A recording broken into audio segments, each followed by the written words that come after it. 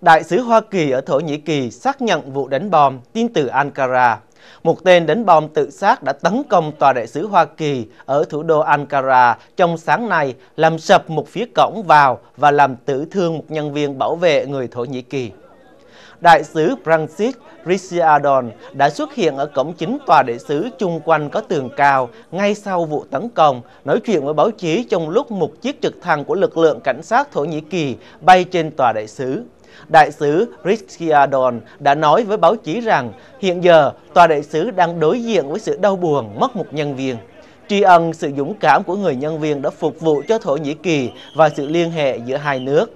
Đô trưởng Aladdin Yüksel cho biết, vụ nổ nằm trong phần đất tòa đại sứ. Hai người chết là tên đánh bom và một nhân viên an ninh. Một phụ nữ bị thương đã được đưa tới bệnh viện.